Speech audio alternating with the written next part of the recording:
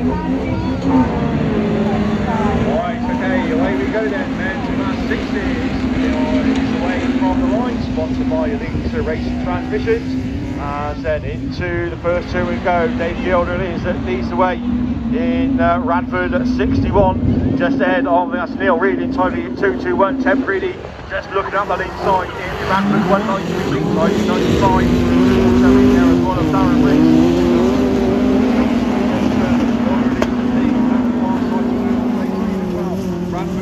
Radford at 61 it is in round one we go Neil Reid also in there as well in the, uh, the mini traveller in time 221 just ahead of Preedy then he looks on the left inside line once again Radford 190 Radford 161 also uh, in there as well of uh, Mark Gilder.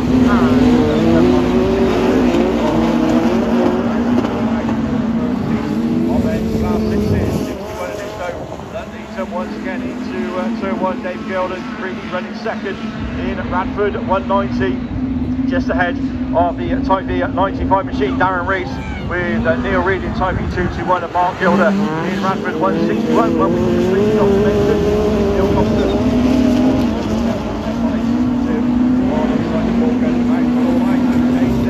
at the front because uh, Ted Brady's got himself into the lead ahead of uh, Darren Reese in Type V 95 as a checker back in goes out this time. Radford 190 then and takes the win. Type 95, Radford 61 with Mark Gilder and sliding across the line is Neil Reid, Type 221. Neil Compton in, uh, in Swansea number 7 and that will complete first round of men's class 6s because Simon Morgan has come to grief on the uh, Wallen Parliament circuit in Severn Valley 62.